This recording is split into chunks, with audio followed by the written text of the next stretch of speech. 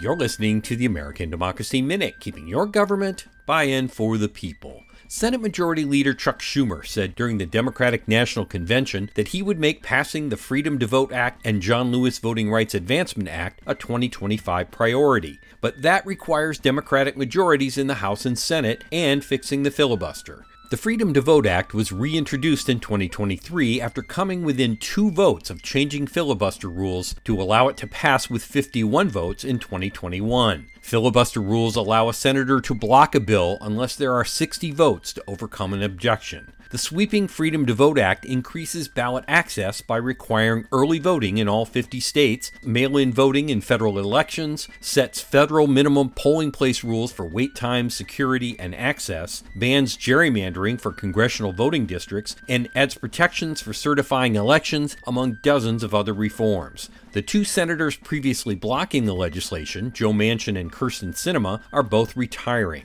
The John Lewis Voting Rights Advancement Act codifies Justice Department rules based on the 1965 Voting Rights Act, including the pre-clearance requirements for states with histories of discrimination. Since the U.S. Supreme Court struck down those and other requirements, voter suppression has surged. Passage of these voting rights bills depends on Democrats winning majorities in the 2024 election. We have explainers linked at AmericanDemocracyMinute.org. I'm Brian Beihl.